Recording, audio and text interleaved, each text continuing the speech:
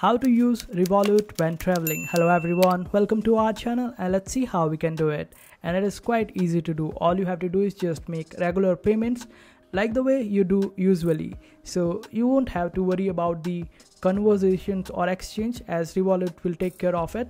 As soon as you are paying in another currency or foreign currency then revolut will ask you or prompt a message which will ask you whether you want to pay them in that country's currency or the us dollars. Just select it yes and revolut will do all the exchanges on its own automatically. So you don't have to worry about it at all you can use your revolut debit card in order to make your payments and it would be super easy and this is how easy it is I hope this video was helpful. Make sure to hit that like button and also subscribe to our channel for more helpful videos.